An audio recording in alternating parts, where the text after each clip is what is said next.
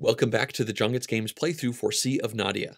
At this point, we have played through the first few rounds of the game, and that happened in a tutorial video where I also taught most of the rules. So if you missed that, then you can find a link for it down below in the description, or you can click the eye up there in the top corner. Now, as always, I'd like to ask that you please turn on the Klingon subtitles. I really might make mistakes as we play through the rest of the game, and that lets me put corrections on the screen, which will make this as accurate a playthrough experience as possible. All right, let's jump back into it. At this point, we are starting the second round of the game, and the blue player is the Admiral. That means they can roll all three of the dice and then assign these out to the players. With that roll, we see a couple new symbols. This one says you get three actions and the wheel compass action. Now that is the astrolabe for this game, and that says that a player with this will get two extra actions if they have two or more cards. We do have another new icon, which is the anchor symbol, and that die face will give that player three actions plus this action. Now, in this game, that is the Dead Man's Compass, and this says that you can use this compass as if it was one of the six resources. Now, it's important to note that this is usable only once, and you can use it at any point during your turn, of course, if you have this symbol on your die. Well, the blue player now needs to make their decision, and they have decided they will give this cursed die over to the red player. They are going to keep the anchor, and they will give us the wheel. After that, we can all start taking actions, and the blue player as the admiral goes first. So they get three actions, plus they can activate the dead man's compass. In this case, they are going to start by moving here for one action, and then they are going to spend their second and third actions loading up these resources. After they do that, they are out of their main actions. But fortunately for them, they still have this bottle, which they can get rid of in order to get one extra action. So now they are going to use this in order to open up this silver chest. Now remember, in order to do that, you need to give up two of the purple resource and one of the green. While the blue player currently has one green and a blue, but they can use their blue talisman to make that blue resource act as if it was purple. That means they still need one more purple resource, and they can get there by using the Dead Man's Compass from the anchor symbol on their die. So that means they have spent everything they need to take this chest, and of course they now have to redistribute all of their paid resources. Well, they can't put these down next to them, but they like the idea of putting these over here. In fact, they're going to stack them just like this. Uh, they can see that their opponents are not super close to the spot, and they are more likely to be able to pick these back up and use them again, in particular this blue one, because of their blue talisman upgrade card. So blue is done, and now the red player gets to go, and we can see they get four actions, but they are cursed with the Kraken, so if they want to move, that is going to cost them two actions each time. Well, they figure moving is costly, so they're just not going to move at all. Uh, this means they are going to start things off with loading, and they're going to pull this red and this green resource over for two of their four actions. After that, they are going to take this card over here, which is a red talisman, and they have to spend a red resource and one of any other color. In this case, they are going to spend the yellow and the red, and then they will take this upgrade, which means for them, they can now use red resources as if it was any type of resource for as long as they have this upgrade card. After that, they of course have to redistribute these, and they want to put the red one over here so that it is close to them, and they are hoping that the blue player would head up there and not down here. Uh, now they have to put this down somewhere as well, and they'll just put it over onto that empty spot. At this point, the red player has one action left, and we're not too surprised to see them take this red resource, considering it now counts as any resource for them. It's kind of surprising that the red player got the red talisman and the blue player got the blue talisman. That was definitely not intentional. So the red player is done, and we can't forget to bring out a new card. That should have technically happened right after they bought a card. So we can pull this one out, and it is a Dead Man's Key. That costs any resource, and you can spend this at any point in the future as if it was one of any resource. Alright, it is now our turn, and we get three actions, plus, if at the start of our turn we have two or more cards, then this astrolabe would give us two more actions. Now, at this moment, we have no cards, so that means we will not get this bonus. It's important to note that if you get cards in the middle of your turn, it still will not activate this astrolabe because that only happens at the start of the turn. So that means we are going to have three actions total. And unfortunately, this red player swooped in and picked up all of the resources that we were planning on getting. So I figure what we should probably do is certainly sail and probably head up here because there are more resources than down here in this lower part of the map. So let's move one, two times, and then for our third action, let's go ahead and pick this resource up. Well, that has used up all three of our actions, so our turn is done. This means we can put our die back into the pool, and we have now finished out the round, which means the red player is the Admiral. So that means they can start the next round by rolling all of the dice. Let's see what our options will be this round. Well, it looks like that is two bottles and then one four action die. So red has to figure out which ones they are going to keep and which ones they will give, and they like the idea of taking a bottle. Now, at this point, they feel like the blue player could probably use the extra action versus the extra bottle. So they are going to give the bottle to the blue player, and we will get this four. It is a pretty close thing overall, but this is the way the red player decided to pass these out. So red can now start taking actions, and the first thing they will do is the message in a bottle action. So they get to grab a random one, and normally this would be in a stack, but I thought it'd be fun to splay them out like this. So the red player will take this one here, and now they get three actions. Well, with the first of these actions, they are going to take this adjacent resource, and then with their second action, they are going to open up this silver box. Now that normally costs uh, two of the purple and one green, but remember the red player has a red talisman, so they can use this red resource as if it was purple. So that means they now have to redistribute all three of these resources, and of course, they can peek at the back of this and add that to their treasure chest area. Well, they have considered where they want to put these down, and they're going to stack these two over here, and they'll put this red one on top over there. And now they still have one more main action, and with that, they will sail over here, where they are likely going to hope to pick up one or both of these red resources on their next turn. This means red is done, so now we can take four main actions. Well, when we look out here, we already have one yellow resource, and we could spend that to pick up this uh, action card down here, which is certainly good, or we could just try to open up the first gold chest of the game. Remember, those take a yellow, a blue, a white, and a red. So I think what we should do is sail here for one action, and then we can take this for a second action. Then we can go here for a third action, and then grab this blue for the fourth action. Now that is good because we are just one red resource away from opening up this uh, chest over here, and we have removed this blue from the board, and I am sure the blue player wanted to pick that up because of course their blue talisman makes that count as any resource. With that, our turn is done, so now the blue player can go, and they are going to start things off by taking a message in a bottle, and they'll take this one right here. Next up, they have three main actions they can take.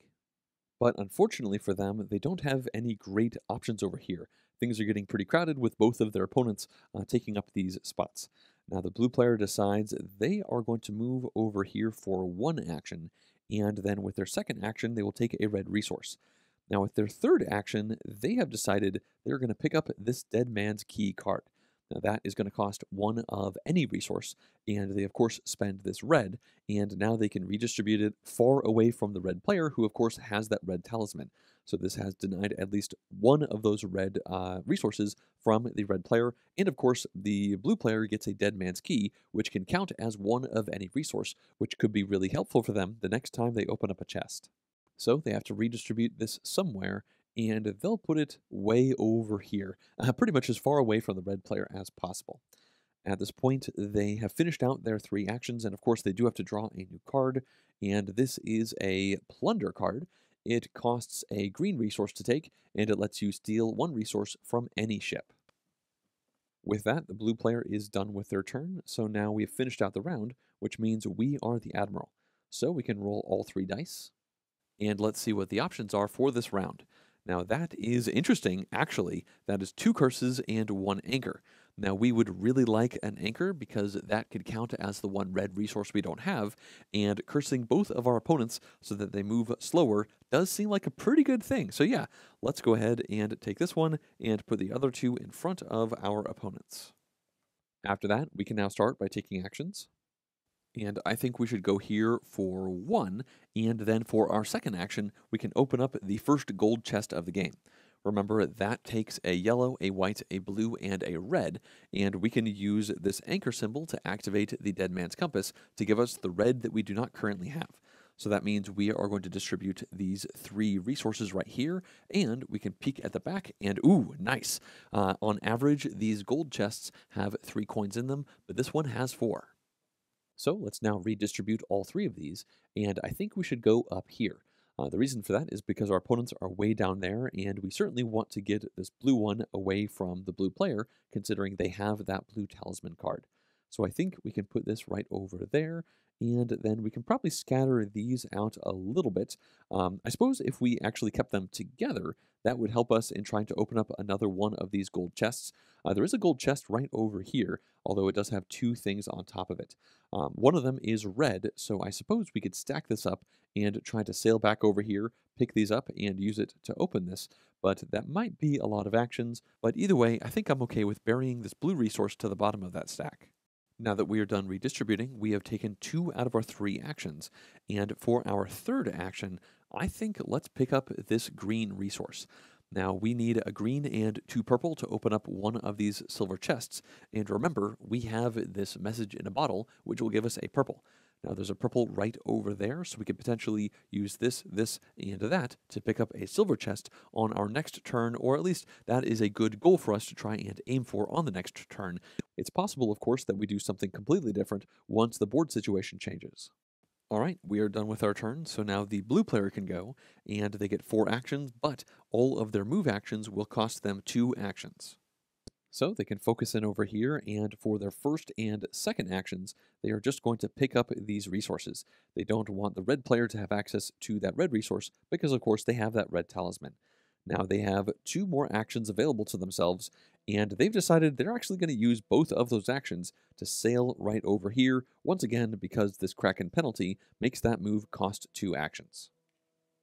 After that, the blue player is done, and that means the red player can go, and much like blue, they have four actions, but they are cursed by the Kraken. Well, they are going to start things off by spending one action to take Clairvoyant. Now you'll notice this does not have a cost in resources, it just costs one action to take, and this gives them a one-time fortune ability to peek at any three unclaimed chests on the game board. After that, they can draw a new card from the top of the deck, and this one costs one yellow resource, and it is the Rat Bounty. So this says the player who has this at the end of the game will get two coins for each rat that they have in their chests.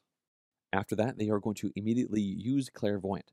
Now they can peek at three unclaimed chests, and they are going to start by taking a look at this one. And then the next thing they will do is peek at this one over here. After that, they get one more peek, and it will be over here. And now they can keep taking their turn. Now they have three actions left to take. And with the next one of these, they are actually going to purchase this Tailwind card by giving up this message in a bottle, which can be one of any resource. So that is going to be a blue resource, and then they can take Tailwind. Now they have two actions left, but before they do anything else, we have to draw another card from the top of the deck, and this is the White Talisman, which makes the white resource act as any type for the player who has it. And now they have two actions left, but before they do those, they are going to use this Tailwind to move their ship to any unoccupied ship location. In this case, they want to Tailwind over here so that they can capitalize on this stack of resources that we put there. Well, they still have two actions left, and with those, they are going to take a red and a white resource. All right, that has finished out their turn, and that means the round is over. So now the blue player can start the next round off by rolling all three dice. So let's see what our options are, and that looks to be a curse, a message in a bottle, and a dead man's compass. Now the blue player has to consider where these will all go. Well, they certainly don't want this curse, and they can tell that the red player wouldn't really care if they got cursed because they have a lot of good actions over here, whereas we don't. So they are going to curse us, which we certainly don't like the look of, and then between these two options, they don't want to give the red player a dead man's compass to make it even easier for them to unlock that gold chest. So they are going to keep that, which means the red player will get the message in a bottle die. Now that they are done assigning, the blue player can take three actions, and they also have access to the dead man's compass this turn. With their first action, they are going to load up this blue resource. And then with their second action, they are going to spend their green resource in order to pick up the plunder card. This is a fortune one time use card that lets you steal one resource from any other ship. So they can look down here and add that in front of them. And remember, you have a limit of three cards, so they are now at that limit. Next up, they have to redistribute this, and they'll put it right here. Now, at this point, they have taken two out of their three main actions, but before they take their third action, they want to use Plunder. That lets them steal one resource from any ship, and they want to target this white shovel resource from the red player. So that is going to be stolen and brought right over here to their own ship. And now they can use their third action alongside the Dead Man's Compass in order to unlock this golden chest. They have the blue, the white, and the red, so they just need a yellow resource, and this will act as that yellow resource. So that means they can take this and then redistribute all three of these resources. And they've decided to put all three of them down on top of this chest. Now, it looks like they're trying to set up a possibility to open this one up on their next turn, or at least soon for them. And they've decided to bury the blue one a little bit in case somebody comes over here. They would take this one, and the blue one would still be available to them. Uh, they can tell both of their opponents are one, two, three moves away from being able to get to the spot. So, with a fourth potential move, then only one resource could be taken. So they can put this back over here. And I just realized they did forget to bring out a new card after they bought that plunder card. Sorry about that. So this should be here, and that is Man o' War. Now, this costs two resources of any type, and it says that you may now carry up to five resources on your ship, and you can have up to four cards. Now, this is a permanent upgrade, so this effectively does not take one of your card slots because you can have three other cards in addition to it. At this point, the blue player has taken their three actions, and they are now done with their turn. That means the red player can go, and they are going to start by activating message in a bottle. So they're going to take this one right over here, let's say, and then they can take three main actions. Now, they have decided to start things off by drawing both of these two resources. And then with their third action, they're actually going to draw this off here. So that is going to finish out their turn, but they have unblocked this chest so that they could potentially open it up next turn as long as they were able to find, it looks like, a white shovel resource. Well, that was a pretty quick turn for the red player, and now we get to go. And the plus side of our turn is we get four actions. The minus side is that every time we move, we are cursed by the Kraken, and we have to use two of those actions. Now that is particularly bad considering I was hoping to move a couple times this turn, so I think instead let's move once, and with this move, let's go over here. Now that cost us two of our actions because of the Kraken, and now we have two more actions. Now what we should do, I think, is take this resource here, and then let's buy the White Talisman card for our fourth and final action. That is going to cost one white resource and then one resource of any color. And now for the rest of the game, whenever we use the white resource, it can act as any type. Well, after paying these resources, we do have to redistribute them. And I think let's put them both right down here. That way, on our next turn, we could go here and pick both of these up and then use that alongside this bottle in order to open up this silver chest.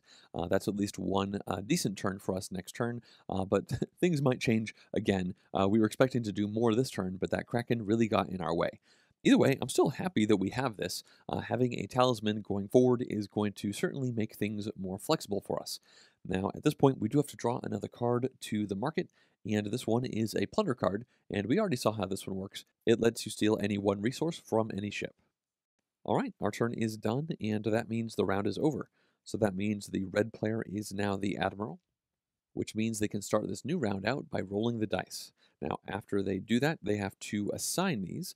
It looks like there's one cursed die, one uh, dead man's compass die, and then one message in a bottle option they are going to give the cursed die to the blue player, and we are going to get a message in a bottle because they would like to have access to that dead man's compass. Next up, blue can take their three actions, and of course they do have access to the dead man's compass. So they can focus in over here, and you might expect them to use this Dead Man's Compass as a white resource, considering that's all they need to open up this chest. And remember, one was plundered away from them by the blue player on their last turn. Now that seems like a good option, however, the red player was able to pull out this message in a bottle on their last turn, which gives them a white resource. So that works out really well for them. They can save this dead man's compass, and then when they spend this alongside a blue, a yellow, and a red, they have exactly what they need to open up this chest. So then this message in a bottle will be discarded, and they have to redistribute all three of these resources. Well, after thinking through their options, they are going to put the red resource over here, and they're going to stack this blue resource under the yellow on top of that chest. So two out of the three blue resources are now stuck way up here in the top right corner. At this point, the blue player can move on, and currently they've only used one action to take that chest. So they still have two actions left, and they are now going to take this rat bounty card and they will do that with the Dead Man's Compass. Uh, they needed the yellow resource in order to make this happen, and remember, they happened to have a message in a bottle, which was the white resource they needed to take that chest. So they are using this to grab this card, and that means they will get two coins at the end of the game for each rat that they have in their chests. And considering they just took this, it seems very likely they have at least one rat in their area. After taking that card, a new one has to be revealed, and this is Wood Bounty. This says if you spend a green resource and then one of any other resource, you'll get two coins at the end of the game if you also have the most wooden chests or are tied for the most. Well, the red player still has one of their three actions left, and they are going to use it to simply move right over here. This means their turn is over, and now we get to go. Well, the first thing we want to do is definitely activate message in a bottle and take one of these. Remember, you can only have up to three of them at any point in time, and we have been holding on to this one for a while. Now we can take a random one, and I think we'll go with this one here. And, oh, that's interesting. This is an endgame scoring bottle. Now, instead of discarding this for something in the middle of the game, this will give us one coin at the end of the game for every set of the wood, silver, and gold chests that we have unlocked in our area. As you can see, we already have a wood and a gold, and we are actively trying to get a silver one done, so that was a great bottle to open up. Now, I think I'm just going to leave ours face up like that. Of course, you keep these face down so your opponents can't see them, but this way we can easily remember what our options are on future turns. Alright, we can now take our three main actions. Well, we are very motivated to take a silver chest now, and fortunately there are a couple unblocked ones over here. So I think let's go there for one action, and then with our second and third actions, we can take these resources here. Remember, we have a white talisman, which means when we spend this white resource, it can be anything that we want. So that means that this could be a purple gun, and we could use that alongside this purple gun and the green to open up this silver chest. Now, obviously, that's not going to happen on this turn. We have spent all three of our actions, but it should be easy to do that on our next turn. Well, that's finished up our turn, and now the blue player can go. Now they have four actions, but of course they are cursed by the Kraken, which means moving will cost them two actions. Unfortunately for them, they really do have to move. There is nothing for them to do over here right now, so they are going to sail over there, and now they still have two actions left. They are now well positioned to take resources, and that is what they're going to do. In fact, they will do that for both of their remaining actions. So they have a white and a blue, and that has finished out their turn. This means the round is over, so the Admiral token can pass over to us, and now we can roll the three dice. So let's see what the options are, and that's interesting. There are two astrolabes and one four action die face. Now, the astrolabe will give a player two extra actions if they start their turn with two or more cards. Now, unfortunately for us, we currently only have one card, and both of our opponents have two. So no matter what, we are going to be giving an opponent a 5 action die, which I certainly don't like the idea of. Now, we could keep the 4 and give both of these to our opponents, which means both of them will get 5 actions, um, which also sounds awful, but the opposite option means we take 3 actions and an opponent takes 4. So unfortunately, I think the best thing for us to do is to give these really good dice to our opponents. This certainly makes me feel like we should have another card just in case something like that happens again, but either way, we can now take our actions. Now we have four to spend. Well, let's start off by taking this chest right here. That is going to take a green, a purple, and then one more purple, which of course happens because we have the white talisman. And now we can peek underneath it, and it has two coins. All right, so now we have to redistribute both of these resources. And I figure we'll put the green one out here and the white one on top of the other white one, which is quite close to us. Now we have three more actions available, so let's sail right over here and then spend our last two actions loading up two white resources, which of course can act as any resource for us. So that is nice and flexible. All right, that has used up all four of our actions, which means it is time for the blue player to go. Now, once again, this Astrolabe gives them two extra actions if they have two or more cards, which they do, so they get five actions this turn, and so will the red player. Well, they're going to start off by loading up this red resource, and then for their second action, they are going to get rid of their Dead Man's Key, as well as this red, this white, and this blue to open up their second gold chest of the game. The Dead Man's Key is going to take the place of the yellow map that they needed. Now, this can be discarded. They can take a look at this chest, and then they have to redistribute all three of these resources. So that'll get added down there next to their other gold chest, and then when they do the redistribution, they want to put the red resource as far away as they can from the red player. They'll actually put it all the way over there, and then they'll put the white resource as far away as they can from us. And they're going to stack that over here because they can see the red player is probably trying to head down here to pick this up and also try to unlock this chest. Now they want to put the blue resource as close as they can to themselves, and now they still have three actions left because up to this point they've only spent two. This means they can now sail over here and then pick up this green resource, which will make it even harder for the red player to open up that chest. And then with the blue player's fifth and final action, they are going to load up this blue resource. This means their turn is done, and now the red player can go, and much like the blue player, their Astrolabe will activate, giving them five actions. In this case, their first action will be sailing over here, and then their second and third actions will be loading up the white and red resource. Now, they still have two actions left, and they have decided to spend the red resource as if it was green in order to pick up this plunder card. Now, they can do that, of course, because they have the red talisman, and then they are going to redistribute this over here so it's not adjacent to their ship, and then they will immediately use Plunder, which lets them steal a resource from any ship. Now they are going to target the green player who targeted them a couple of turns ago, and they are going to grab this green resource, which of course the green player took from this area right under their nose. Now, at this point, the red player does have one action left, but they don't have the resources that they need to open up this chest just yet, so they're going to use that action to sail over here so that on the next turn, they could pick this up and then use all three of those in order to open up this chest as, of course, one potential turn option. Now, I am getting a little ahead of myself. We do need a new card over here on the market, and this is the Admiralty Bounty, which gives two coins if you have the fewest total chests, including ties. All right, the red player is now done with their turn, and that has finished out the round. So the new round starts with the blue player becoming the admiral, and let's see what they roll. Now that is interesting. Uh, two of the message in a bottles and another astrolabe. Now they do not actually have two cards anymore. They only have one because they spent their dead man's key on the last round. So that means they are going to give themselves a message in a bottle and they will give us the astrolabe, unfortunately, uh, because, of course, we still only have one card, and the blue player has two, and then the red player will get a message in a bottle.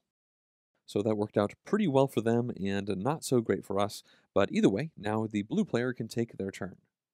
And they are going to do the message in a bottle, and they'll take this one here, and then they can take three actions. With the first of these, they are going to load up a red resource, and with the second, they are going to open up this wooden chest. Remember, that takes a red and a green resource, but they have the blue talisman, which lets them use this blue as if it was green. So they can, of course, redistribute these and take this chest. That'll get added down here, and then they are going to put the blue resource on top of that stack, and the red one will go way over here in the top left.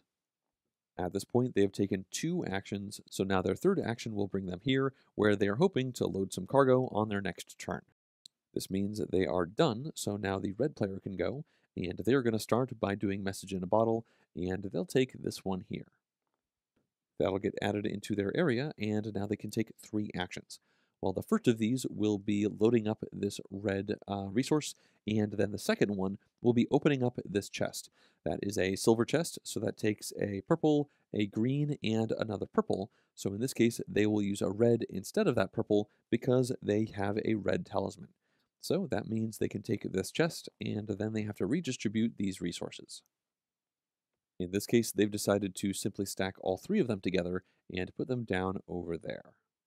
Now they do have one action left, and they are going to use that to sail over here, and now they are done with their turn. This means we can go, and unfortunately, we just get three actions. We don't get any bonus, and I think we need to not have that happen anymore. We currently have one upgrade card, and I think at this point, instead of picking up either of these chests like I was planning, let's take this Admiralty bonus card. At this moment, both of our opponents have four chests, and we have three, so that means all we'd have to do is make sure that we at least tie for having the least number of chests in order to have this turn into two extra coins, which is certainly a good thing. Now this costs a white and another resource, so actually I'm going to rewind this real quick, and before we take that, let's load up this green resource as our first action, and then with our second action, we can take this. Now we of course have to spend a white and then another resource. That way we can hold onto this white because of course it can count as any resource for us. So we can take this and we now have two of these cards and neither of these are discardable. You can of course discard any card at any point if you want to, but either way having these two cards is important so that in the future if astrolabe uh, icons come our way, we can actually turn that into five actions instead of unfortunate turns like this one where we only get three. Either way, we now have to redistribute these two uh, resources, and we do still have one action left on our turn. Now, we of course have a lot of different options available to us, but I think let's put this right over here. And then for our third and final action, let's sail back up in that direction. Things are going to be getting uh, pretty complicated down here, I think. The red player gets to go before us, and I just think that maybe heading up here to try and unlock some of these chests might make more sense. Now, especially when you consider the fact that we want to not have a ton of chests, we want to probably target the gold and silver ones instead of picking up more of the wooden chests. Either way, that has finished out our turn, although I once again forgot to bring out a new card.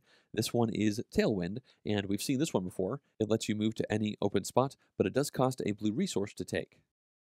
Alright, our turn is done, and that's going to finish out the round, so now we can move into the new round where the red player is the Admiral. So let's see what they roll, and it looks like there is a curse, a dead man's compass, as well as a message in a bottle. Well, they are going to give us the message in a bottle, they are going to give the curse to the blue player, and they are going to keep the dead man's compass. Now they can take their turn, and they have three main actions available to them. Now they're going to start by loading up two resources, so it's purple and then red, and then with their third action, they are going to buy this Man o' War card. Now that takes two resources of any color, and they are going to use the Dead Man's Compass that they have from their die to be one of those resources, and they will spend this purple to be the other one. Now this means for the rest of the game, they can carry up to five resources on their ship, and they can hold up to four cards. Uh, this of course counts as one of those cards. So they can now add this to their area, and then they have to redistribute this purple resource. After considering their options, they're just going to put it right over here, and that has finished out their turn, and now we can reveal another card from the top of the deck. In this case, that is another Dead Man's Key. Alright, that's finished up the red player's turn, and now we can take our turn, and let's start by drawing a message in a bottle, and let's take this one here. So this says, ooh, nice. It's going to be one of any resource when we discard it. So that is certainly something that could come in handy later on. After that, we can take three actions. And I think we should set our sights on unlocking this gold chest and potentially this silver one as well. Now let's start off by uh, picking up this white resource for our first of three actions. Then we can sail over here for our second action. And then for our third action, let's pick up this purple resource, because of course if we want to unlock that chest, we do have to uh, remove all of the resources from the top. Well, that was a pretty good setup turn for us, and that has finished the turn. So now it's time for the blue player to go. We can see they are cursed with the Kraken, but they do have four actions available to them. And considering they have a penalty for moving, they've decided not to move at all. They will just spend three actions loading up these three resources. After those three load actions, they still have one action left, and they want to buy the Tailwind card. Now that is going to cost them a blue resource, and they are going to redistribute it over here and then they're just going to keep this. They figure being able to move to any unoccupied spot could be really powerful once we get into the later stages of the game, and as you can see, we are certainly over halfway done with the game anyway, so this could be worth a bunch of actions to jump over to a spot in order to get a crucial chest opened up. This also means they are back to having two cards, which means if they get an Astrolabe die, that will be a 5 action turn instead of 3. Now, after they took this, a new card has to come out, and it looks like this is another one of the free cards. This says Bury a Resource. Now, it says you remove any one unblocked resource from the game. Now, at this point, there are three of each resource out here, so if somebody plays this, that would remove one of those from one of the types, which would make it a little bit harder to unlock certain types of chests. Alright, the blue player has done four actions, and that has finished out their turn. This means the round has come to an end, and we can now start the next round by rolling the dice. So let's see what we get, and that is quite a bit of messages in bottles. Uh, two of them to be precise, and then one Dead Man's Compass. Now, when we look to assign these, this is not going to be totally straightforward. Obviously, getting messages in bottles is a really good thing, but having the Dead Man's Compass is effectively like having extra actions that we can count on, specifically actions where we have the resource of our choice. These bottles can be a wide variety of things, so I think we should probably take the thing that is guaranteed, even though these bottles could potentially give our opponents uh, things they really need, like points or resources in the moment that they need it. All right, let's now take our three actions. Now, our main goal is to open up this gold chest, but in order to do that, we have to clear the uh, resources off it. And when we do that, we have now put ourselves to the point where we are full up on our ship. Now, if we want to, we could try to offload something, but we would like to get this red resource as well. So I think instead, for our second action, let's spend this purple resource in order to buy this dead man's key. That can count as any one resource when we spend it, and then we have to redistribute this purple resource. Now, I kind of feel like we should maybe put it down over here just to make that wooden chest a little bit harder to be opened. And now we can reveal another card. In this case, we have found Swashbuckler. Now remember, this is a prototype, so this one has some handwriting on it, and it says that you can use this once in order to reposition your die to the side of your choice. Well, at this point, we have spent two out of our three actions, so now I think let's open up this chest. Now that is of course going to take a yellow, white, blue, and red resource, and remember we have the Dead Man's Compass, and we have the Dead Man's Key. So that means we can use these two over here along with a yellow and one of our white. So that means this could be red and this one over here could be blue. And that means we're spending just two of our resources in order to take this chest. So we can flip it over and it has the expected three coins behind it. So we can now discard this, and then after that, we have to redistribute all of the resources that we spent, and in this case, that was a white and a yellow. Well, let's put this yellow one on top of that silver chest to make it a little bit more annoying to get to, kind of blocking it from our opponents, and then we can put the white one over here so that it is nice and close to us. Alright, that has finished out our turn, so now the blue player can go. Now they are going to start with a message in a bottle action. This is going to be their third bottle, so that means they should probably consider spending these if, of course, these are bottles that can be spent. Remember, some of them you save until the end of the game. Either way, they are going to take this one right over here, and then they'll add that to the other two that they already have. Next up, they have three actions to take, and they will sail here for one, they will load up for two, and then they will load up again for their third. Uh, now, at this point, they are going to spend one of their bottles. That's going to be this one here. That shows a one action symbol on it, so that's going to give them another action, and they are going to use that to open up this chest. They are going to do that by spending a green, a purple, as well as a blue alongside their blue talisman, so that acts as the other purple that they need. This means they can take this chest, and this is their fifth chest of the game so far. So they can now redistribute, and they'll put the blue one here, The purple one will go there, which will make it a little bit harder to get down and unlock that chest. And then the green one will get placed onto uh, this spot right over here. All right, the blue player is done, so now the red player can go. They are going to start off by taking a message in a bottle, and then they have three actions. Now they are going to start by loading up a green resource, then they are going to move twice, and that is going to finish out their turn. Well, the red player is done with their turn, so that has finished out the round, and now going into the next round, the blue player is the Admiral. Now, it's worth noting that currently out on the map, there are only five chests left. And remember, as soon as there are only three chests left, the game will end immediately. So that is coming up pretty close. Now, at this point, the blue player can roll the dice. So let's see what our options are going to be. In this case, there is an astrolabe, a 4, as well as a curse. Now they have to assign, and they are going to take the astrolabe, give us the curse, unfortunately, and then give the 4 over to the red player. After that, they can take their turn, and they do have two or more cards, so the astrolabe will activate, which means they actually have five actions they can take this turn. Well, the very first thing they want to do is use Tailwind. That lets them move their ship to any unoccupied ship location. With this, they are going to move right over here, and then for their first and second actions, they are going to load up twice from these two adjacent spots. Then for their third action, they will go here, and their fourth action will bring them over there. Now for their fifth action, they can take this blue resource. This means they now have everything that they need in order to unlock this golden chest, but the problem is they are out of actions, and this chest is blocked. Well, they are not done with their turn just yet. They are now going to use another bottle, which shows an action on it, and they are going to use that action in order to take Bury a Resource. This lets them remove any one unblocked resource from the game, and they are going to immediately use this to bury this yellow map resource. That means this is removed from the game permanently, and this is no longer blocked. Now, after that, a new card comes out, and this one is Pathfinder. This costs one resource of any type, and it says you can use this card to open a blocked chest. So that would let you actually open up something underneath, which could be pretty important.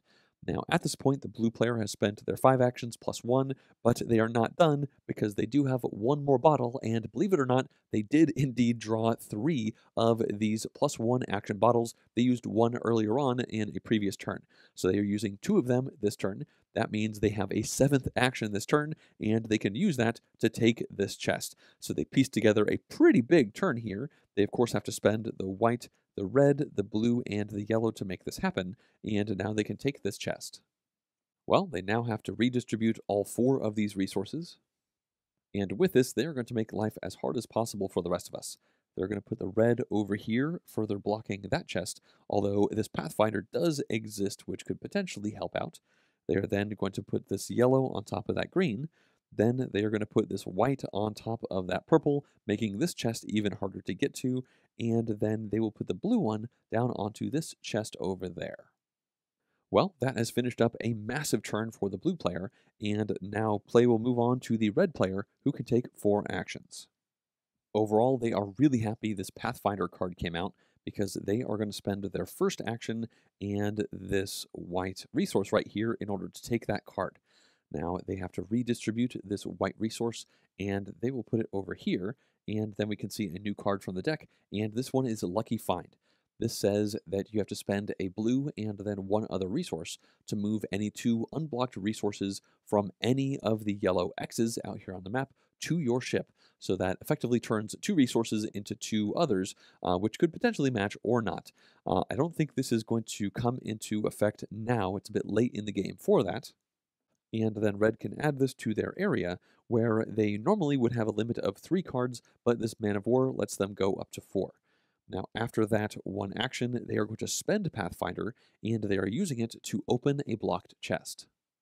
As you can see, this chest is very blocked, but that Pathfinder lets them get around it. They can open this up by getting rid of a red and a green, and they will redistribute those right over here and then take this chest. Now, the moment this happened, we can look out to the map and see that there are just three unclaimed chests left out here, which means, unfortunately for us, the game ends immediately. Uh, the red player does not even finish out their turn, and we don't get to take our turn at all. With the game now over, each player can count up all of their coins. We can start over here with us. We have 1, 2, 3, 4, 5, 6, 7, 8, 9, 10 on the four chests that we got. Then we have an 11th one because we have one set of the three different types. And then we do indeed have the least number of chests, so that will give us two more coins, which gets us up to a final score of 13. Next up, the blue player does not have anything special going on. They just have the coins from their chests, and they get 1, 2, 3, 4, 5, 6, 7, 8, 9, 10, 11, 12, 13, 14. So they have one more coin than us. And finally, we have the red player. Now they have 1, 2, 3, 4, 5, 6, 7, 8, 9 coins from their chests. Then they have one coin from this bottle right over here. And on top of that, they have two rats.